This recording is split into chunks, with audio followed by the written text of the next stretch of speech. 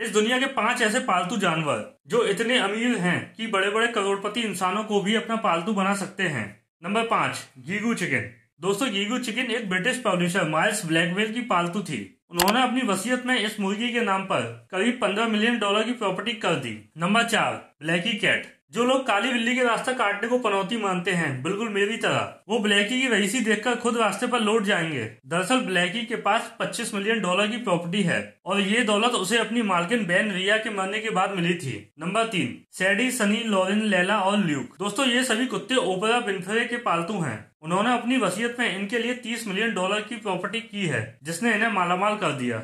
Number दो, Olivia Benson. Taylor Swift की पालतू बिल्ली ओलिविया वेंसन, सत्तानवे बिलियन डॉलर की मालकिन है, और ये बिल्ली डाइट कोक और केट्स जूते समेत कई विज्ञापनों में दिख चुकी है। नंबर एक गंतर फोर्थ गंतर फोर्थ नाम का ये जर्मन शेफर्ड डॉग दुनिया में सबसे अमीर पालतू जानवर है। गंतर को ये प्रॉपर्टी अपने पिता गंतर थर्ड से मिली है, जिसे ये जायदाद अपनी मालकिन कार्लोत्ता लिविंगस्टाइन की मौत के बाद मिली थी। दोस्तों, ये कुत्ता 375 मिलियन प्रॉपर्टी के साथ दुनिया का सबसे अमीर पेट है। इतना ही नहीं, इसके पास बहामास में एक विला और मियामी में एक हवेली भी है।